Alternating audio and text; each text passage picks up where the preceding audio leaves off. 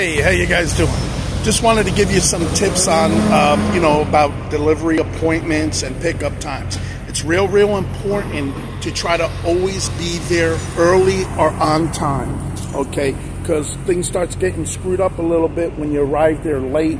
And uh, a lot of times these shippers and receivers are busy as is and they're overbooked. So by you arriving there late, you actually give them an out to where now they can push in the back of the line and tell you, oh, you missed your appointment, uh, we're waiting for a dock. Um, they might be short lumpers, they're not going to tell you that, okay?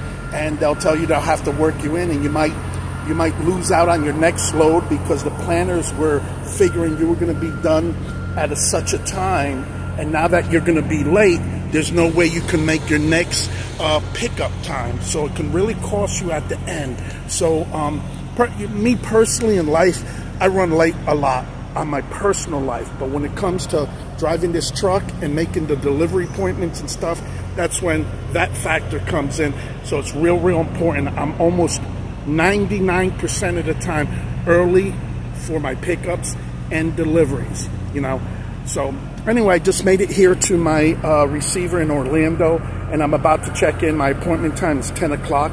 I actually got here a few minutes after 9, so now I'm taking it easy. I don't really like to check in too, too early with them, and uh, this way, uh, you know, everything looks nice and nice. Anyway, I'm about to take the padlock off the back of the truck back here and uh, get myself ready and go ahead and check in, use the bathrooms, check the temperature on my reefer unit. I'm running like 34 degrees. I got 34.3, so that's really, really good. And uh, nice taking it easy. It's always great when you arrive early because now the burden is off you. You've already arrived at your shipper or, uh, receiver, and uh, it just uh, makes it an easy go day. So um, I'm actually going on home time from here because I do live here in Florida. So uh, everything's very stress free. Okay, I'll uh, catch up with you again, and I hope this stuff was a little bit useful. And uh, just remember, it costs you at the end when you're running late.